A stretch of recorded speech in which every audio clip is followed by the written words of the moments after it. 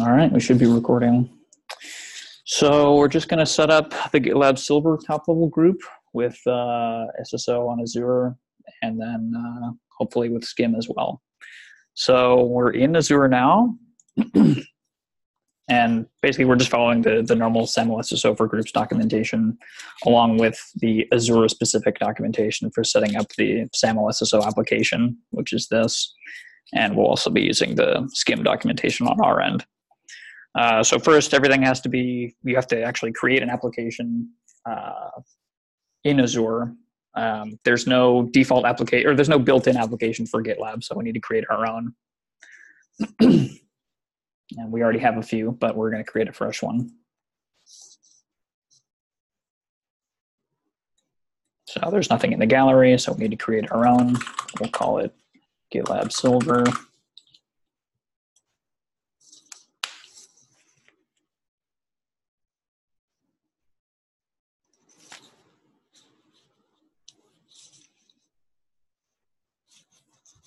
And we'll wait a while.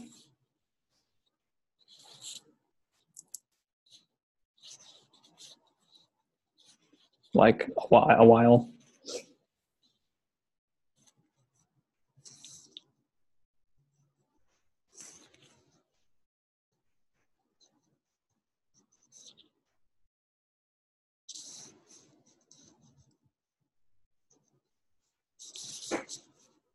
Okay.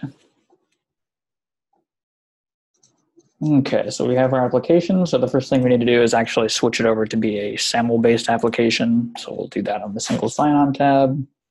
That's all done. and now there's only two, uh, well, there's three things. Uh, we don't document the third thing, but there's three fields we need to fill out here. Two are required and one is optional, but we should be filling it out, and that's the sign-on URL. Um, so these two we're going to get from the settings page in our actual group. So we're in GitLab Silver right now. And uh, let's see where they at. Can't remember which one is which. Yeah, this is this one. So we'll just edit this, fill in our reply URL, and fill in our identifier.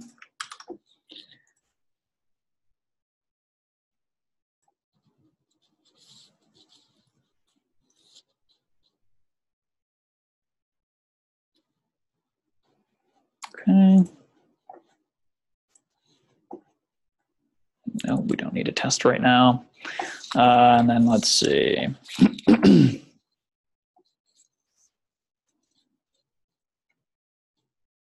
yeah, okay, yeah, this is where the documentation differs a little bit. So we need to give the login URL, no, we need to provide the login URL and the fingerprint for the certificate, or the, yeah, fingerprint for the certificate into GitLab, which is actually, if I remember correctly, down here.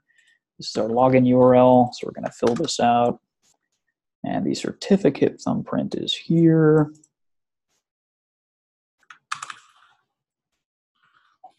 And then we'll save that, I believe. Yeah. Let's see.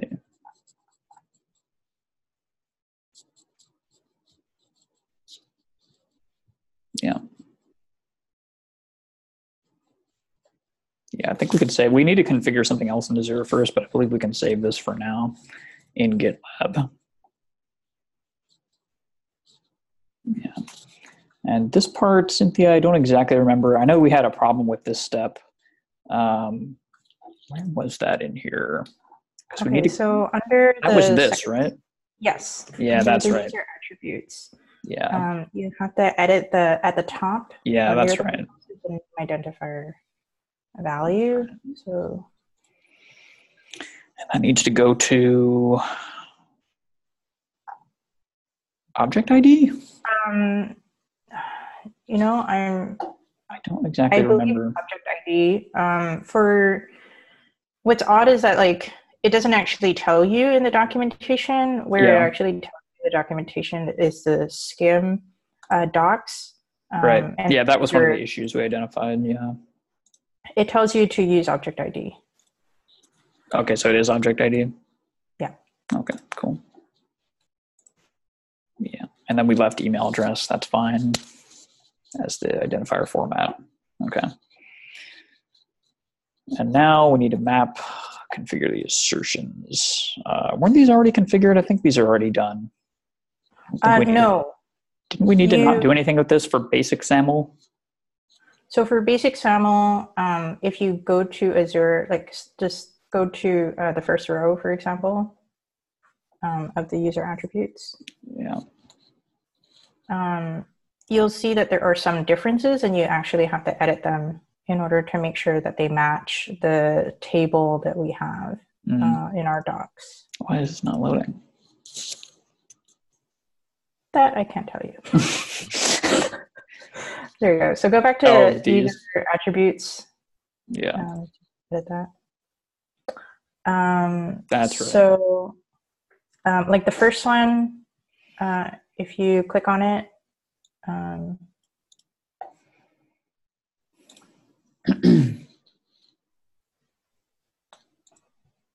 uh, no, the source is right. So what yeah, we need to that's correct is um, our key, which is the name. So that should either be email or mail according to our table.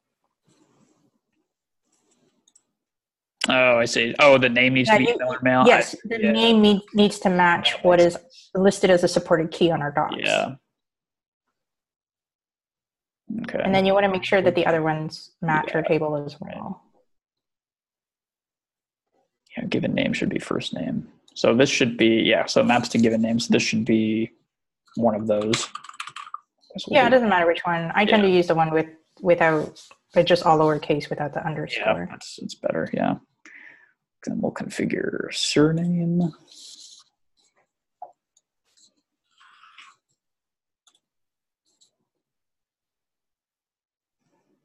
Uh, and name, I guess, is full name. Yes. Yeah, that makes sense.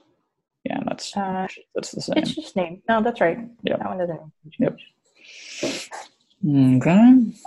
So that's the part that's kind of, I guess, like you kind of really have to know your identity provider to know exactly where you're mapping these values, um, and that's yep. kind of where like our docs could be a little bit better to at least tell you, hey, in Azure, it's in the user attributes and claim section, right? Yeah, exactly. Like, yeah, that's the reason because it's. I know it's definitely different in Okta, so that's why I was I was saying we should probably do uh, a specific doc for each provider, just because it, it just takes all the guesswork out of this.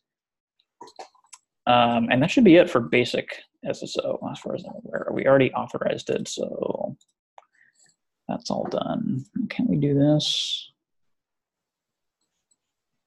Yeah, this should take us to, the, yeah, okay, that works fine. So I'm already associated with this group, so that won't really do anything.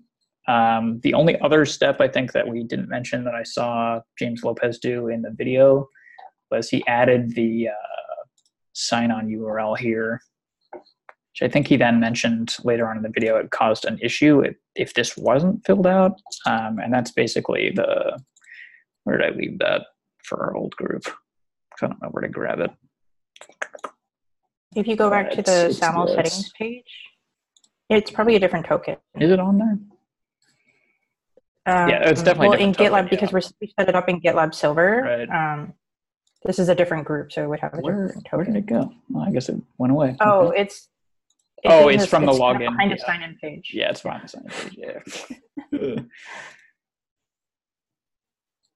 Mm, oh yeah, it's right here. Yeah, but we keep it without the token for this at least. Is it? That's what he had in the video. Yeah. Oh, okay. I think it threw an error when it when he had the actual token in it. Yeah. Okay, and that's it as far as basic SAML goes. Um, for adding SCIM, there's a little bit of a different process. So we need to be going over to provisioning and we can ignore, for GitLab.com at least, we can ignore pretty much everything here up to here. So we first need to generate a SCIM token and the URL. And this is going to be provided to Azure. So we need to switch our provisioning mode to automatic. And we need to give our token and our endpoint URL. And we'll give a notification email. Uh, can test the connection at that point. It should hopefully work. Yep. Save that.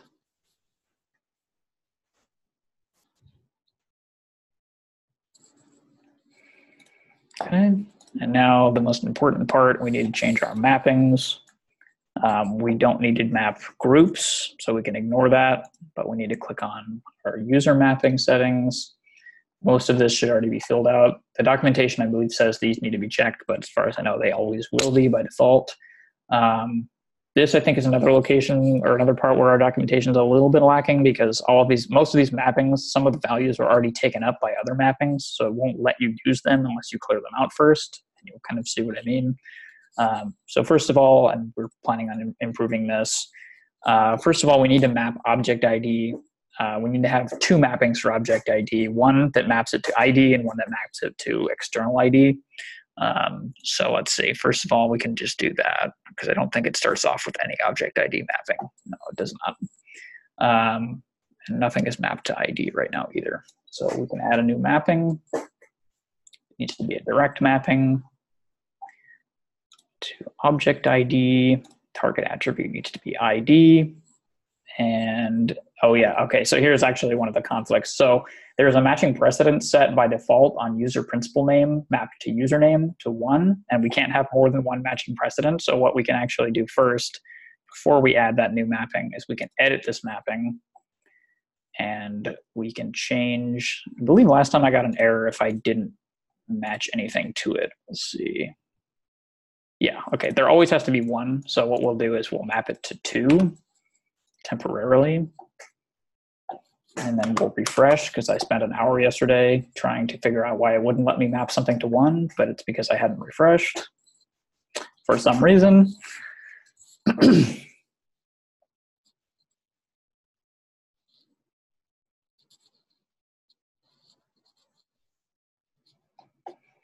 we'll open up our mappings again. The group section may or may not disappear. We'll see if it, no, it didn't. It will eventually though, I think. Okay. User principal name is still set to one for some reason. Oh, did I forget to save it? Yeah, I think I did. yes, I definitely did.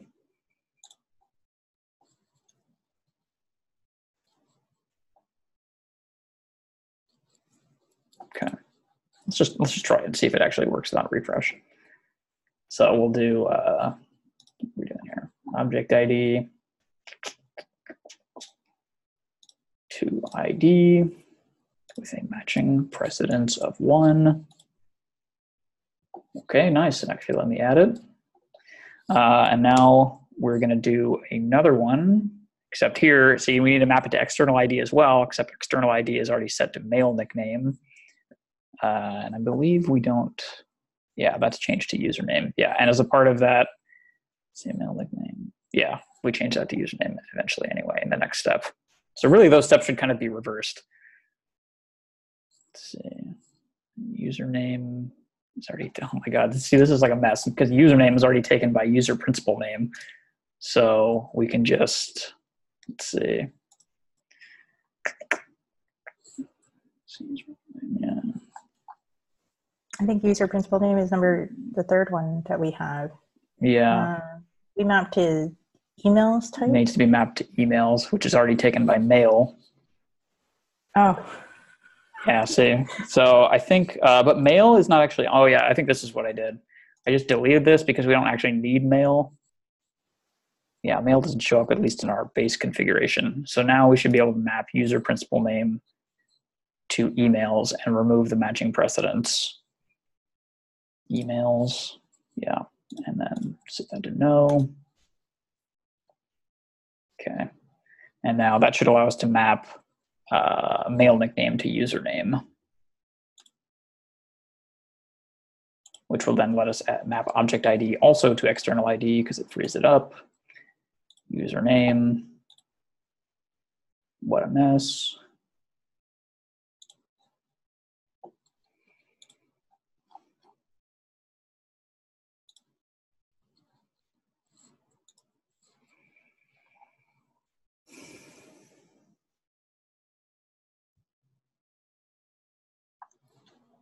That's interesting.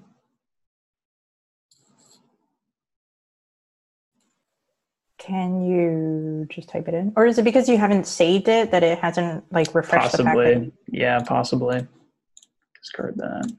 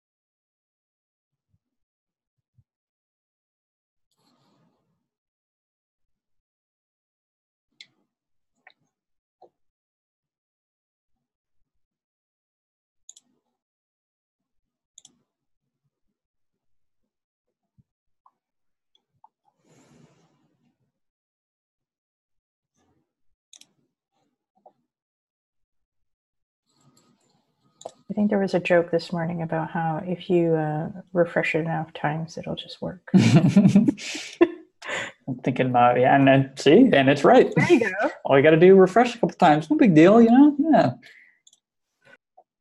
So that's good. That's good user flow.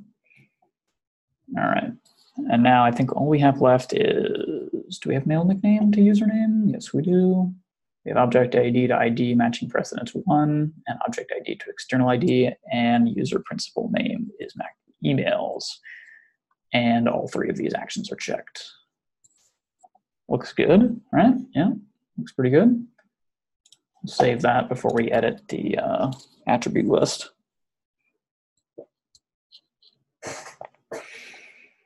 Okay. And now finally, we need to go down and show advanced options. And we need to click edit attribute list for our app.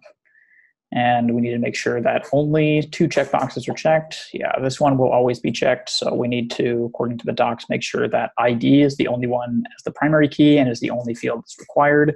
So we'll uncheck this. And we'll save, make sure none others are there. Yep, save it.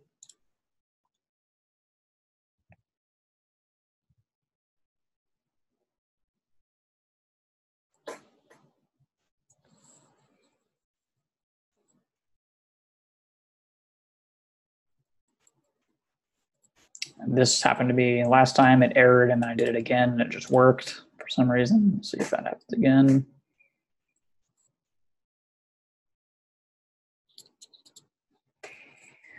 All right. And, uh, then all we have to do is turn provisioning on and that will start to provision users, update users, and delete users on an interval. So we just need to, uh, and also most users, we don't mention this except in a note. Um, the default is that it will only sync users and groups that are added specifically to your application. So the GitLab Silver as a SAML application that we created. Um, this option will sync users that are added to your Azure portal overall uh, and ones that are added just to your application. We're going to assume and probably recommend that users just leave it at the default, but it kind of works the same way no matter what option you have. It shouldn't really affect anything as far as provisioning goes. So we'll just leave it at the default and then we want to turn it on save the changes.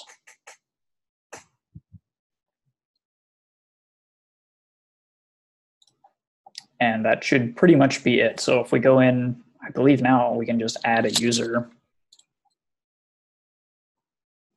to this application. Although if I remember right, we now need to Oh yeah, isn't the case that you need if in order for a user to show up in the application, you need to have created them in the portal anyway? Because like these are all the only users that are here are ones we've created in the portal. So I guess we might as well just make a new user in the portal itself.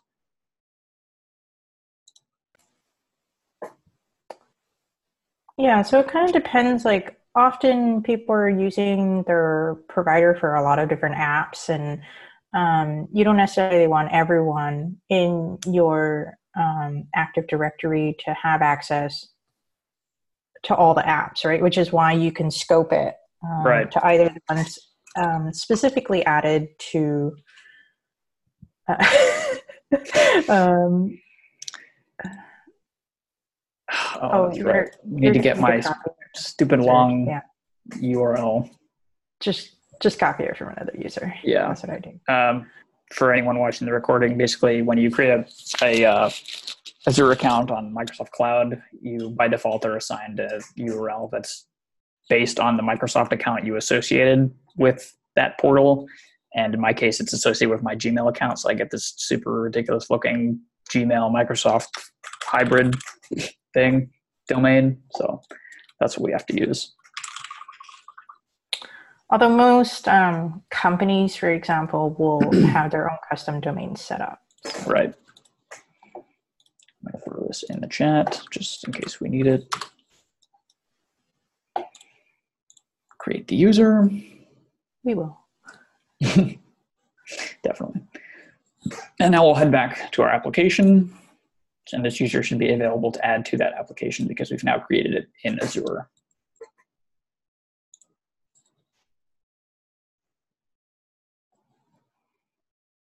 Him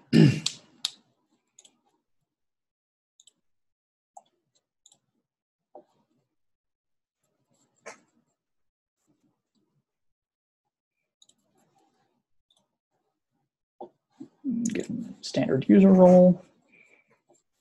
And now he's been added. So now theoretically, the next time a provisioning cycle comes around, that user should be added in GitLab.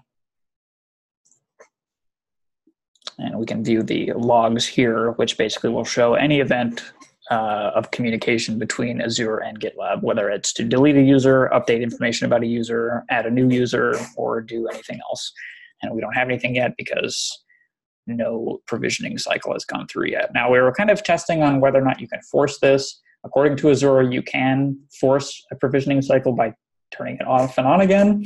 Uh, that seemed to work maybe when we tried this, and maybe it didn't work. It wasn't really 100% clear, but we can try it just to see.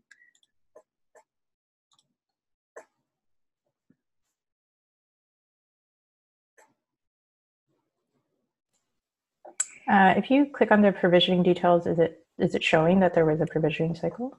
Last completed cycle at 152, I guess was when it was first uh, enabled. I'm assuming is when that was. What about that refresh button there under current status? Yeah, this um, doesn't do a lot.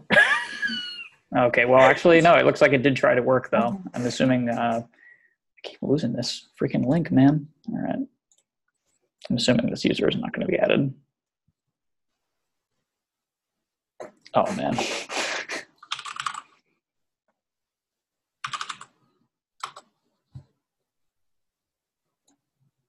Not sure if that would be. that will that would definitely have shown it. Um, yeah, this is the other thing that you that we ran into yesterday is it'll show that there was an error provisioning, but nothing will be in the logs just yet. Because obviously it ran into an error. This is yeah, it'll it, it basically what it means by that is it's going to retry whatever action it failed to do on the next cycle. Uh, but I'm not sure why it will not show a log entry for that because it clearly tried to do something that failed. And did you say now. what the cycles are like every?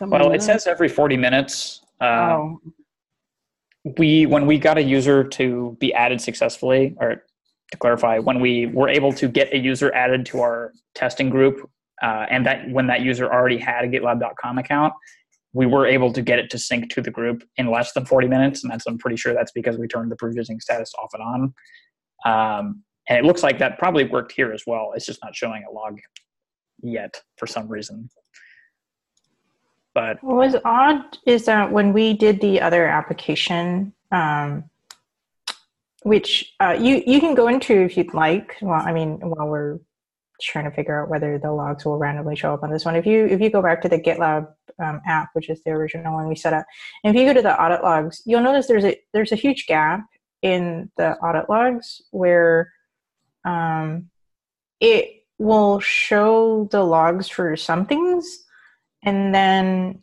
like it there were no logs between something like um, oh oh now there's newer ones yeah these weren't here earlier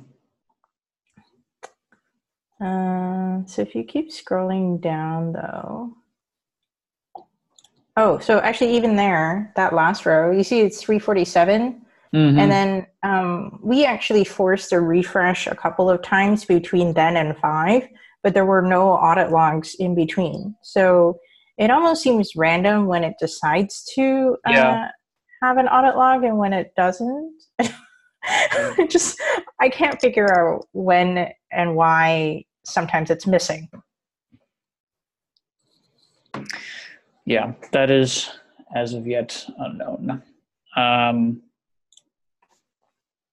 I'm very curious to see what the actual error is here, though, because this is a completely fresh setup, and we've done everything according to.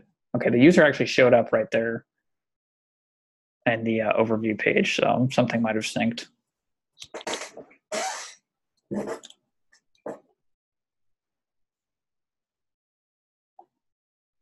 Okay, yeah, we've got something. So, okay, this is the exact same error uh, that we ran into uh, on our other application on GitLab 2. And this does differ slightly from the, app, the error that users are getting. But I think this, as far as I know, this pretty conclusively shows that this is not working with a base configuration according to the documentation, as far as I can tell. I'm a little curious though, like if we try to uh, log in with that user now um, and tie it to like